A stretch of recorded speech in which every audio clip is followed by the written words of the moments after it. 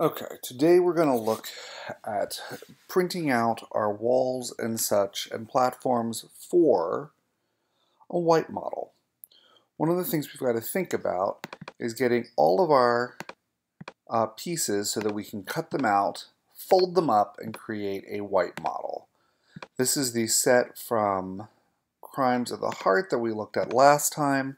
So let's take a look first at doing a platform. So this platform is a whole bunch of separate pieces. First thing we're going to do is we're going to ungroup them, which we can do with Command U on a Mac and uh, Control U on a PC.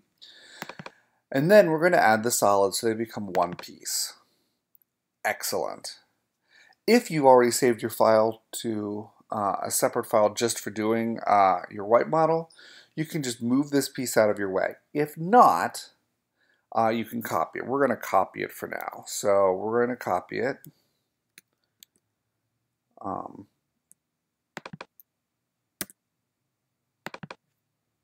edit, copy, and just bring it off to the side and we're going to paste it. Edit, paste. Okay, now that we've got this over here, it's the right shape for the top, but remember, we're going to need to fold this so that it becomes, uh, in this case, six inches tall. So to do that, we're going to just draw the sides on it. Front.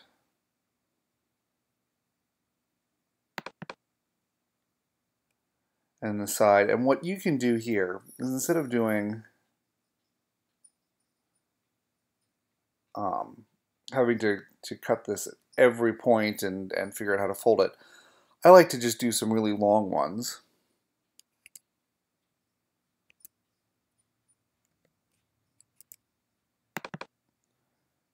And over here it looks like I missed. That's okay, because I can double click on this and expand it.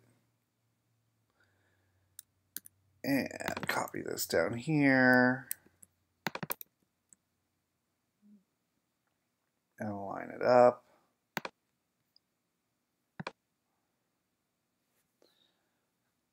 As long as I'm pretty sure I've got enough of this, um, I can uh, just print this out and then cut and fold it. It's going to be especially nice here where we've got kind of a weird angle going on here. We'll do one more over here. Um,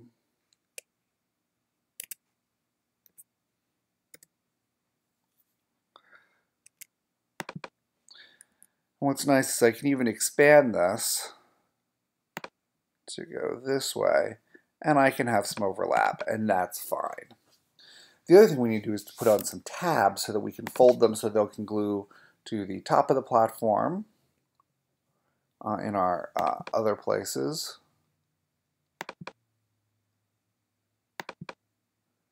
Of course, these are just reminders. We can cut them out however we want to when we're actually going to build our model. The other thing we need to be able to connect to is the floor, because obviously this model, this uh, platform piece needs to connect to the floor. Notice I'm not being real careful with these. These can be whatever size they need to be, um, just so that everything will glue to the floor nicely when it's all done. Okay. We've got this platform. Now let's go ahead and create a viewport for it. Okay, so to create a viewport, we're going to go uh, View, Create Viewport.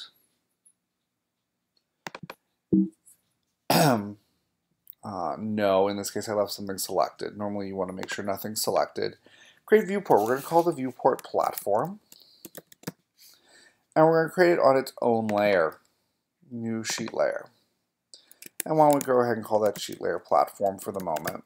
Or we could call it model pieces 1. Okay, in this case we want a top view, so that's already set, and we want a quarter inch scale. That's already set. We're going to go ahead and click OK.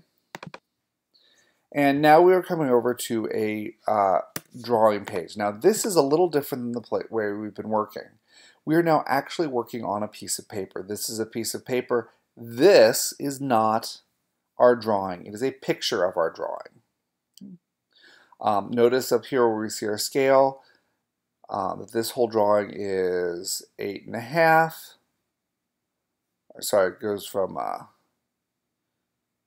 no, our size doesn't seem to be quite right. Let's go into page setup and get our size correct.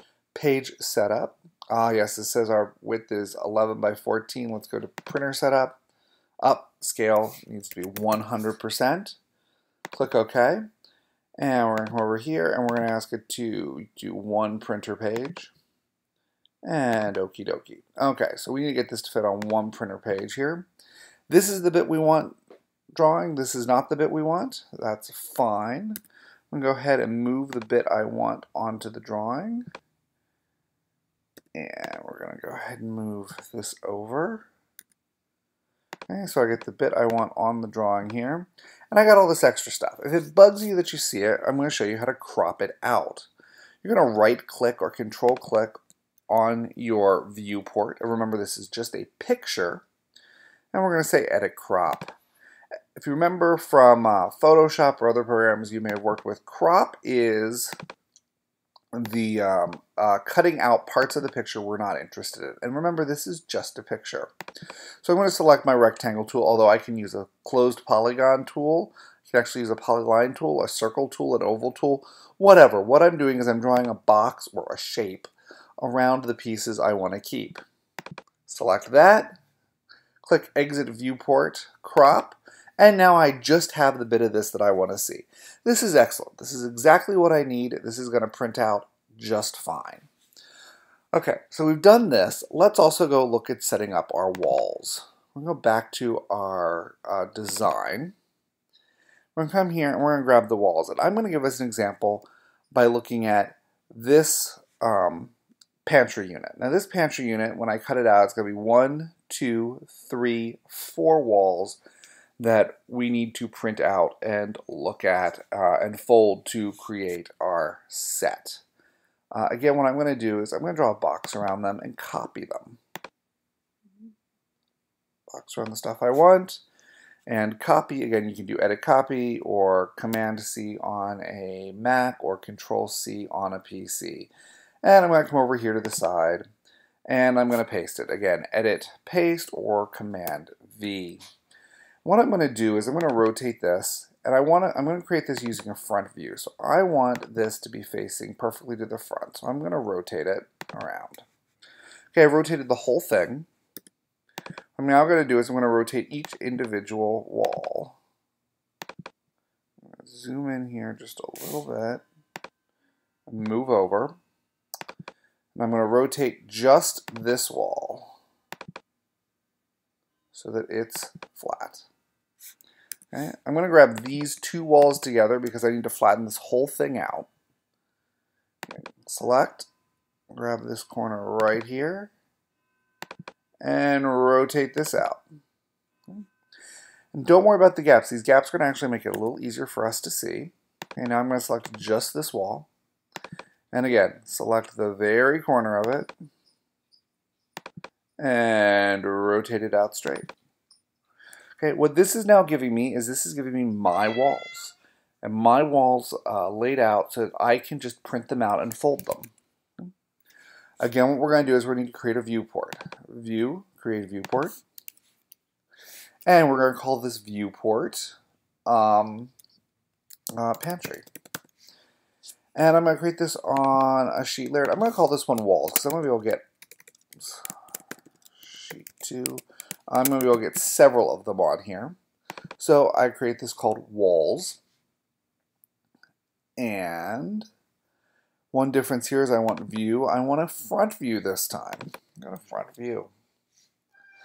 Okay, and I'm going to set my rendering as hidden line. Again, it shouldn't really matter in this, um, but that's fine. We're going to do hidden line.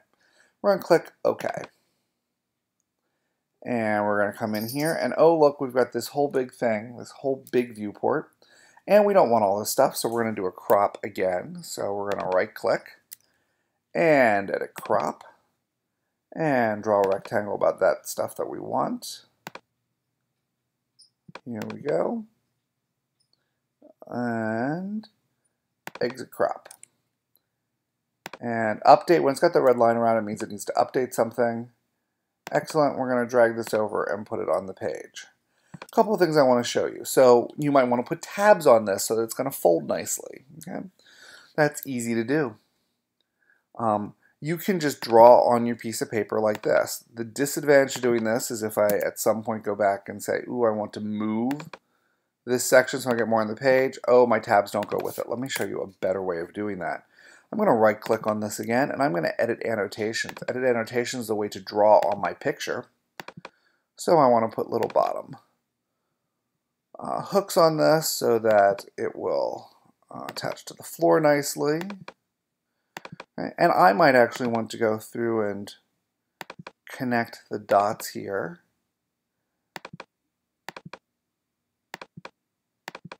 And in theory, and if this is off by a smidge of a smidge, it'll be just fine. But by connecting the tops, top and bottom, uh, and this will only happen if you're folding your walls in one direction. Another way they will uh, connect perfectly, or at least they should.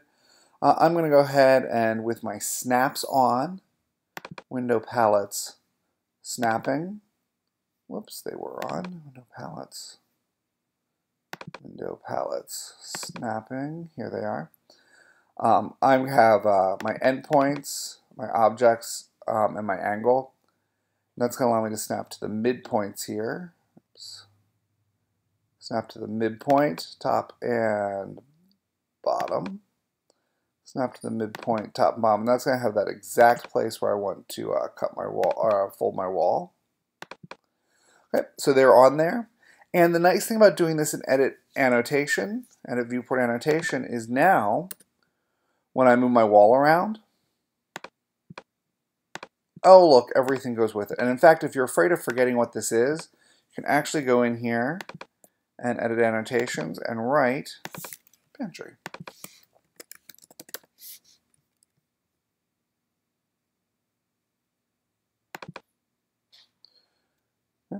So this is here. I'm going to do one other wall and show us what we can do here. Go back to our master sheet. Okay, and I'm going to go ahead and grab this whole um, back wall here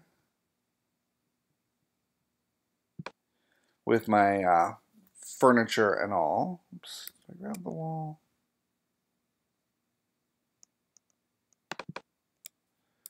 And I'm going to copy it.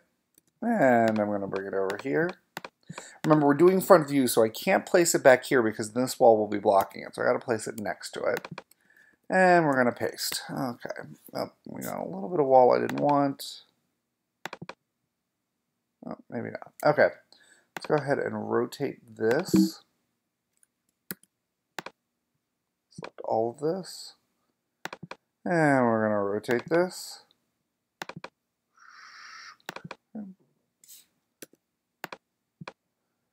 Okay. Now on this one, we've got uh, um,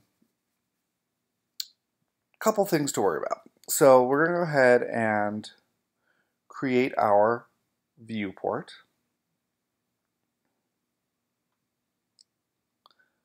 Um, model. Oops, sorry, view, create viewport. And again, we're going to do a front view. And we do want this on sheet two walls. We're going to call this kitchen wall. And we want this hidden line. And okie dokie. And we're once again we're back on this page and uh, we're going to edit our crop.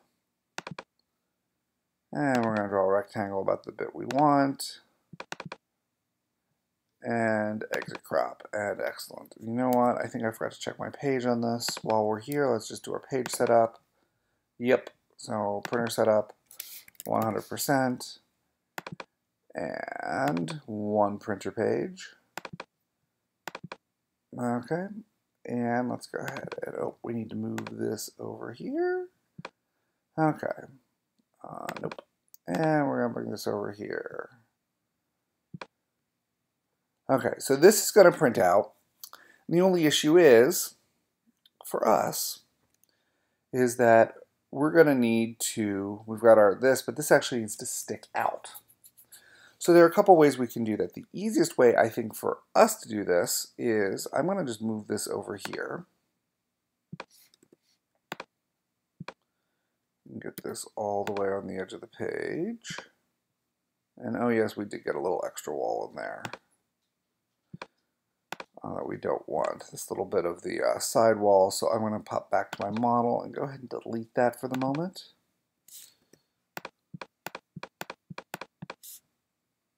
Oh, there it is.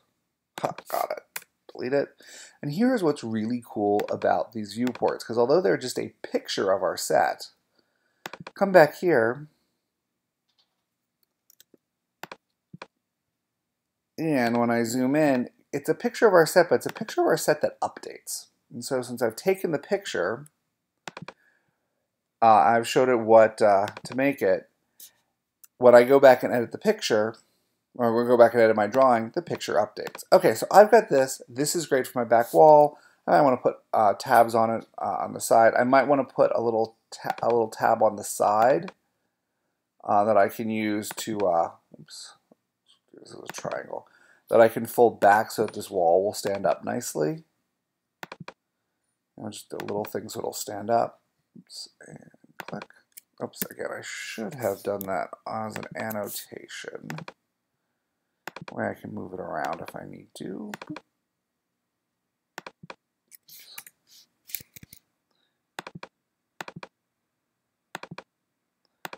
There we go. And let's do one on the other side. I'm just going to use my mirror tool. And there's one on the other side. And maybe a quick tab along the bottom.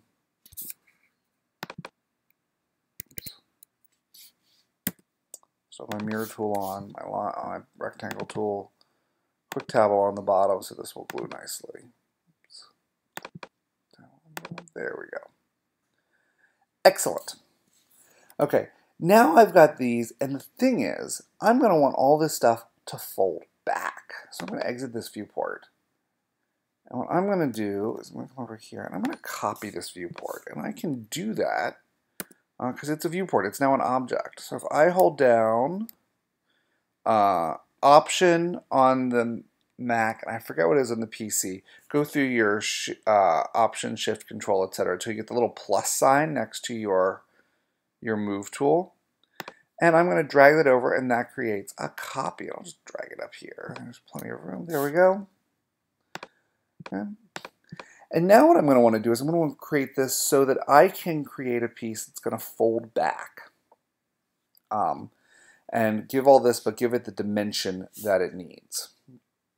Okay, and for a white model, if I've got the front and the top and the sides are open, that's probably just a-okay.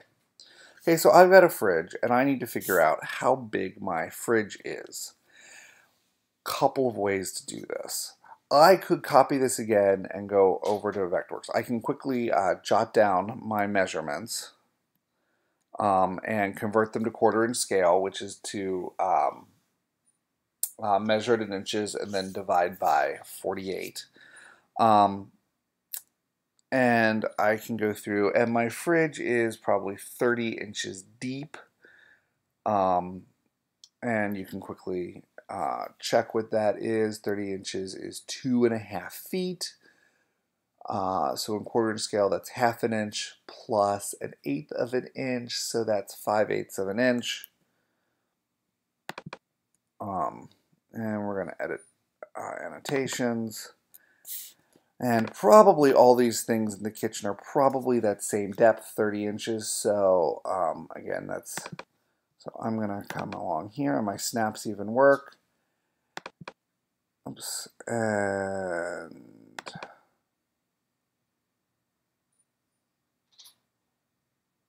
I want to go here, um, 5 eighths, which is 0.625 inches.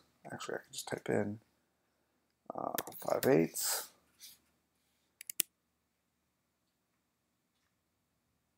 Oh, this actually, sorry, I'm incorrect here. Uh, because we're actually in the annotation, this is actually in um, uh, our picture units. So I can put my 30 inch block there. Okay, my countertop is going to be this whole section.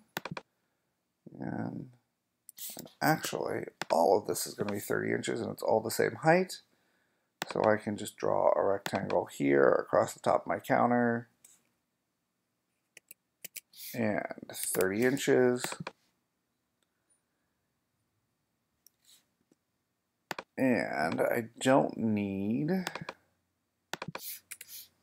these side tabs anymore because what I'm going to just do is I'm going to cut out this section, that is my countertops, fold these back, and maybe I want to do a little tabs so I can glue these nicely to the um, back wall. I won't cut out the wall this time. I don't need the wall this time and then I can fold this back and then this underneath and glue it to the back wall, fold this back, fold this back, fold this to underneath the wall. And now I have all my appliances looking um, nice and dimensional. And I did that by just copying the tab. Again, I'm going to now have to do that for all my walls. Okay, Staircases, furniture, you can build in an exploded view, whether you do that um, by copying the furniture or whether you do that by just building um, quick rectangles um, uh, cubes that you can fold. And you're going to just print all these items out and cut them out uh, and fold them. Uh, if you can print them out on cardstock, even better. If you're printing them out on regular paper, we're going to need to glue them to our um, cardstock so we can make our model. Excellent. Have a great day.